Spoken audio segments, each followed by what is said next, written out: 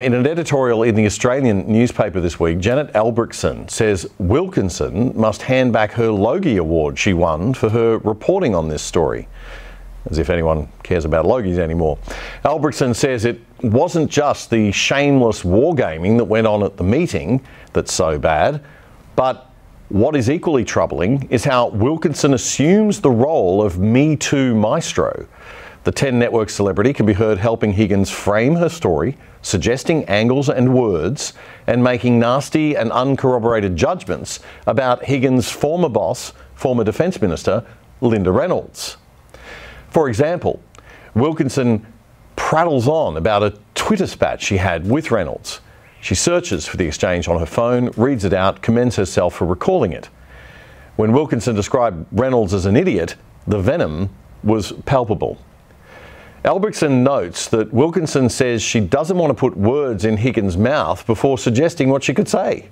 Speak about the culture, Wilkinson coaches Higgins. Enunciate the fact that this place is all about suppression of people's natural sense of justice. Because you see around you the way the place works.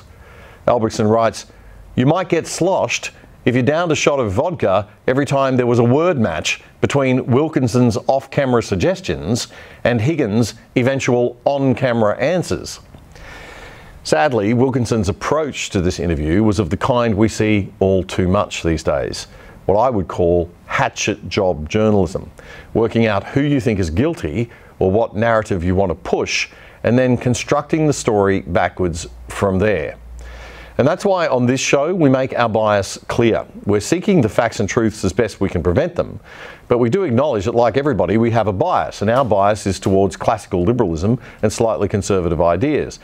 It's when journalists present themselves as virtuous campaigners of the good, neutral presenters of the truth, while telling only one side of a story, that things become very worrying. Deliberate misrepresentation by what they leave out of the story.